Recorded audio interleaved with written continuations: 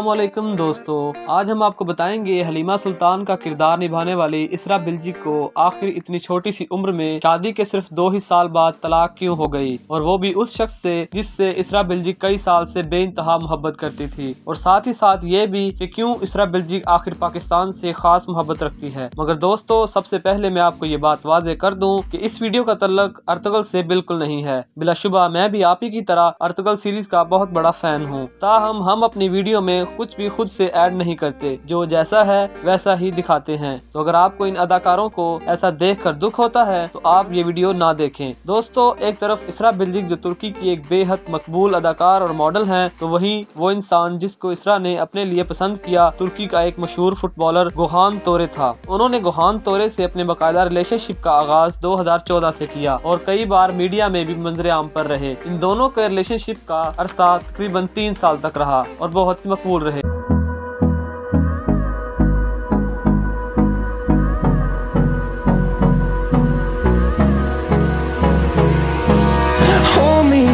till I get up Time is barely on our side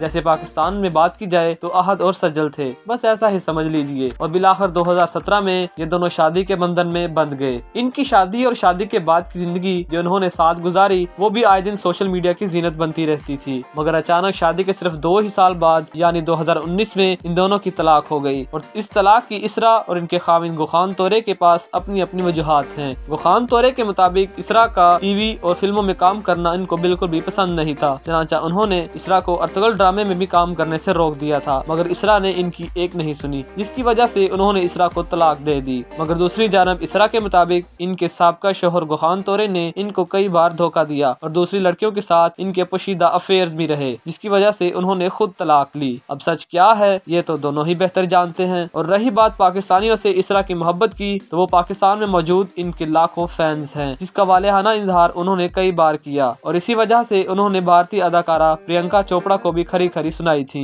जो कि आप net पर खुद सर्च करके देख सकते हैं। तो ये थी नाजरीन आज की वीडियो मिलते हैं नेक्स्ट वीडियो में। तब तक के लिए अल्लाह हाफिज। अगर आपको हमारी ये वीडियो अच्छी लगी हो तो इस वीडियो को लाइक और अपने दोस्तों के साथ फेसबुक और व्हाट्सएप पर ज़रूर शेयर कीजिएगा। और अभी तक अगर आपने हमारे इस चैनल को सब्सक्राइब नहीं किया तो ज़रूर सब्सक्राइब कर लीजिएगा और बेल आइकॉन को क्लिक करना मत भूलिएगा, ताकि हमारी वीडियोस सबसे पहले आप तक पहुँचती रहें। Thanks for watching